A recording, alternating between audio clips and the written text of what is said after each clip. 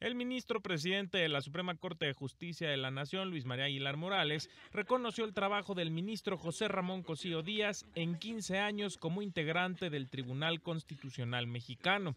Esto en la última sesión del Pleno en la que participó el ministro Cosío Díaz ante el fin de su encargo constitucional. Su gran inquietud intelectual, que también se advierte en su continua movilidad física, lo han señalado como un jurista creativo, innovador, poseedor de una gran cultura jurídica que emite opiniones y consideraciones valientes y bien informadas.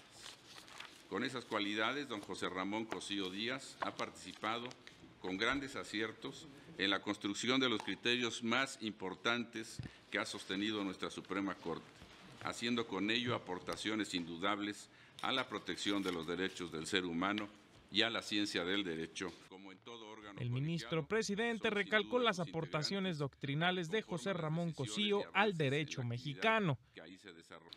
Explica ello porque siendo muy joven, con solo 43 años, ya había sido elegido por el Senado de la República para ocupar un lugar en la Suprema Corte de Justicia de la Nación, pero también permite entender que por sus cualidades intelectuales y humanas hubiera sido invitado y aceptado como integrante de instituciones de gran prestigio. El próximo jueves se llevará a cabo una sesión solemne ante el retiro del ministro Cosío. Sin duda, se le extrañará en la vida cotidiana del máximo tribunal y quienes, como yo, hemos podido acercarnos a sus grandes cualidades humanas, lo extrañaremos también como compañero. Aunque le advertimos que seguiremos cultivando su amistad y buscando su consejo durante muchos años más. Muchas gracias, señor ministro José Ramón Cosío Díaz. Gracias, presidente.